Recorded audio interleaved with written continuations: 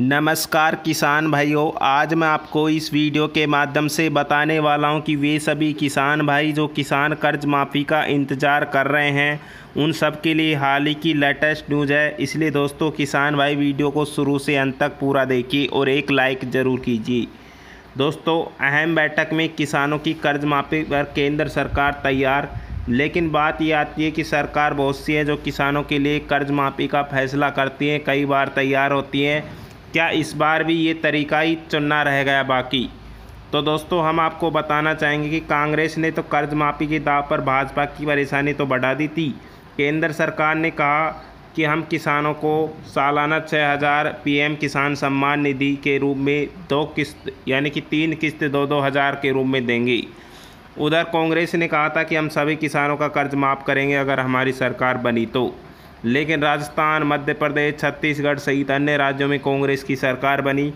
लेकिन जो राष्ट्रीयकृत बैंकों के किसान हैं, उनका अभी तक भी कर्ज माफ़ नहीं हुआ। तो किसान भाइयों का कहना है कि आखिर आपने जो वादा किया, वो वादा आप पूरा क्यों नहीं कर रहे? आखिर हमारा कर्ज आप माफ़ करोगे या नहीं? दोस्तों, हम आपको बताना चाहेंगे कि तीसरे विकल्प के तौर पर प्रति एकड़ लगभग सत्रह सौ रुपये देने का प्रस्ताव किया।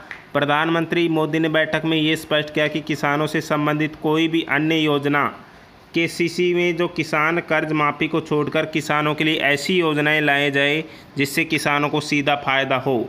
देखिए, हम दूसरी न्यूज़ के माध्यम से हम आपको बताना चाहेंगे कि देख सकते हैं कि जो भी किसान भाई, कर्ज माफ़ी की बजाय प्रोजेक्ट पूरा करना चाहूँगा, नरेंद्र मोदी ने कहा।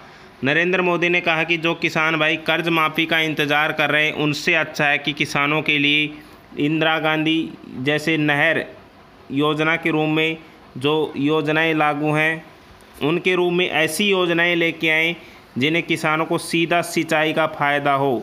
सिंचाई ऐसी जगह जहाँ किसानों को पानी उपलब्ध नहीं है, वह पानी की संपूर्ण सिंचाई योजना परियोजना लागू करके किसानों को सीधा फ़ायदा मिले।